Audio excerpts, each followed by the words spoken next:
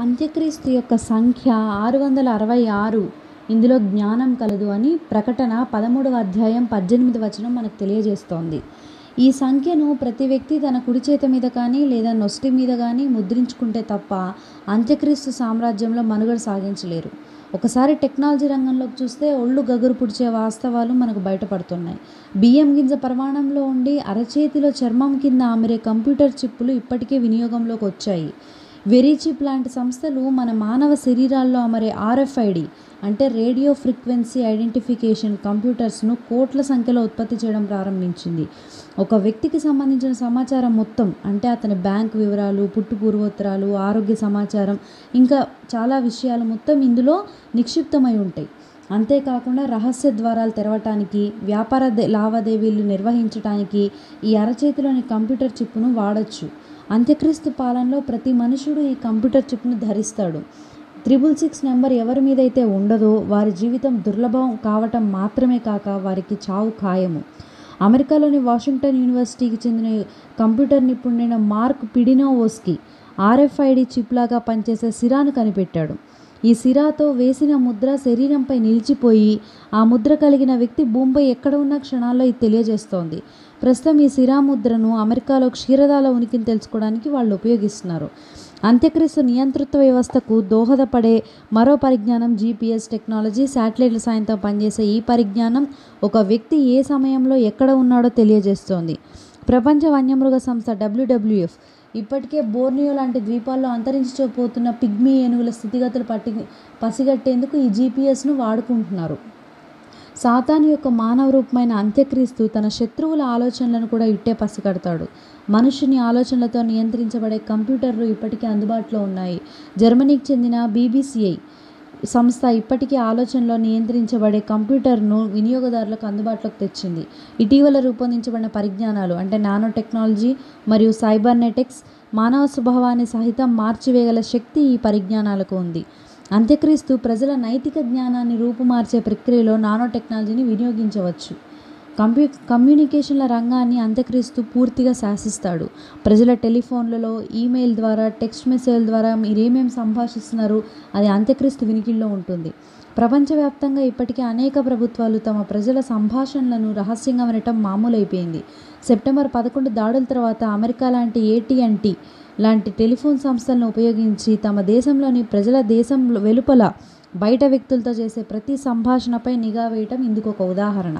అంత్యక్రీస్తు పాలనలో ఇలాంటి నిఘా అన్ని దేశాలకు వ్యాపిస్తుందని ఒక అంచనా. అయితే మహాశ్రమల కాలంలో ఇద్దరు సాక్షులు పన్నెండు వందల అరవై రోజుల పాటు నానా విధములైన తెగుళ్ళతో భూనివాసులను ప్ర నరకయాతనకు గురి చేస్తారు.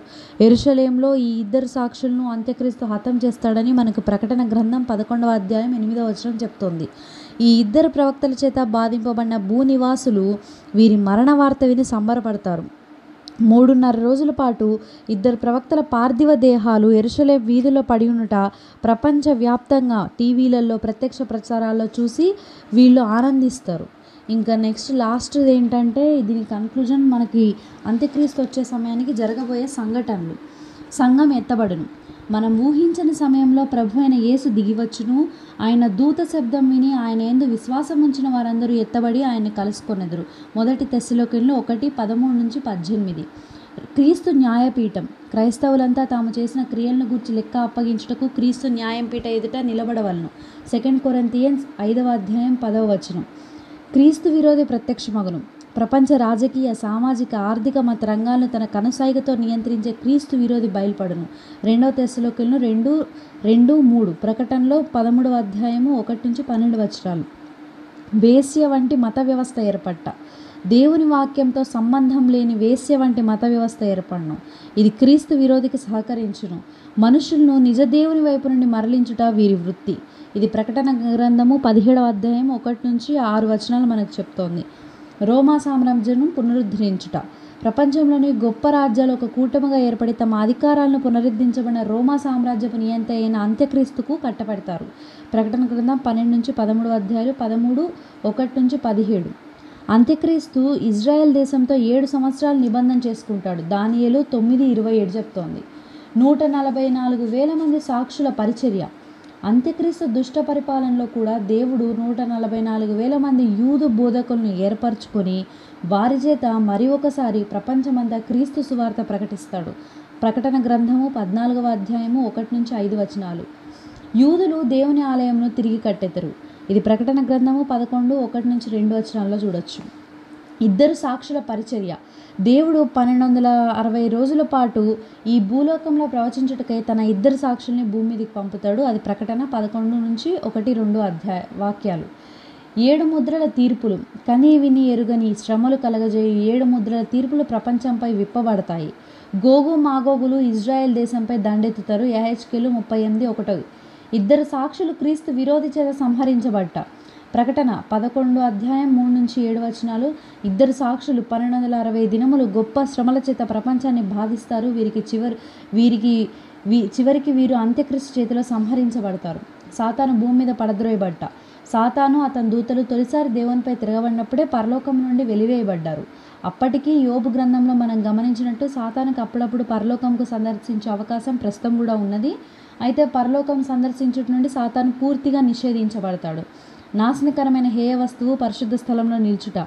ఏడేళ్ళ శ్రమల కాలం మధ్యలో యేసుక్రీస్తు దేవుని ఆలయంలో ప్రవేశించి నాశనకరమైన హేయ వస్తువును పరిశుద్ధ స్థలంలో నిలుపును. మనకి ప్రకటన పదమూడు అధ్యాయం పదకొండు నుంచి పదిహేను వచనాలు. అంత్యక్రీస్తు అసలు రూపం బయటపడుతుంది.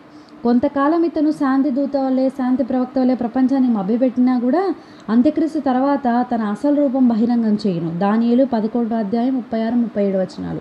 ప్రపంచవ్యాప్తంగా ఇజ్రాయేలీలు శ్రమ పెట్టబడుదును అంత్యక్రీస్తు తన అసలు రూపం వెల్లడి చేసి ఇక యూదుల్ని హింసించడం మొదలు పెడతాడు. ఇది జకరియా పదకొండవ అధ్యాయం పదహారు వచనం. వేశ్య వంటి మత వ్యవస్థ అప్పుడు నాశనం చేయబడుతుంది.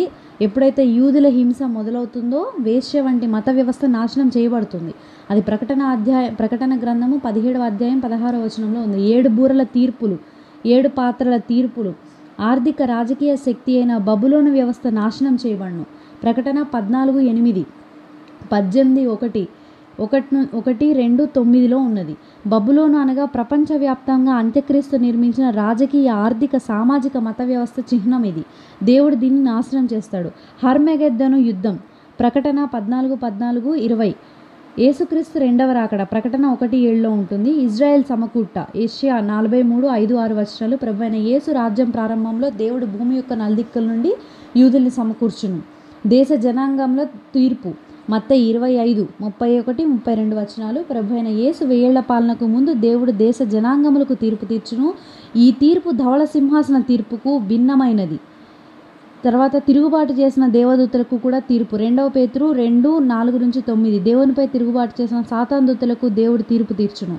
నీ పాత నిబంధన కాలంలోనూ మహాశ్రమల కాలంలోనూ మరణించిన ప పరిశుద్ధుల పునరుత్నము.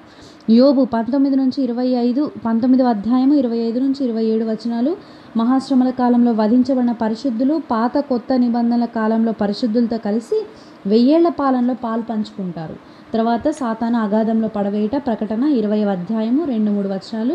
క్రీస్తు వెయ్యేళ్ళ పాలనలో కా- సాతాను వాని దూతలు అగాధంలో బంధించబడతారు. గొర్రెపిల్ల పెళ్ళి విందు క్రైస్తవ సంఘం అనేది వధువు దాని రక్షకుడైన యేసుక్రీస్తు వివాహం చేయబడిన తర్వాత వెయ్యేళ్ళ పాలనకు ముందు గొర్రెపిల్ల విందు జరుగును. క్రీస్తు వెయ్యేళ్ళ పాలన వెయ్యి సంవత్సరాల పాటు భూమిపై క్రీస్తు సామ్రాజ్యం స్థాపించబడిన. ప్రకటన ఇరవై నాలుగు. సాతాను అంతిమ తిరుగుబాటు. దేవుని మీద తిరుగుబాటు చేయటమే ప్రధాన వృత్తిగా గడిపిన సాతాను అగ్నిగుండంలో వేయబడక మునుపు చివరిసారి మళ్ళీ దేవుడిపై యుద్ధానికి తిరుగుబాటు చేస్తాడు. మనకి ఇది ప్రకటన ఇరవై అధ్యాయం ఏడెనిమిది వచనంలో కనిపిస్తూ ఉంటుంది. మహాధవళ సింహాసనపు తీర్పు ప్రకటన ఇరవై అధ్యాయము పదకొండు పన్నెండు వచనాలు. దేవుడు యేసుక్రీస్తు రూపంలో ధవళ సింహాసనంపై కూర్చుండి రక్షణ పొందని ప్రతి వ్యక్తికి తీర్పు తీర్చును.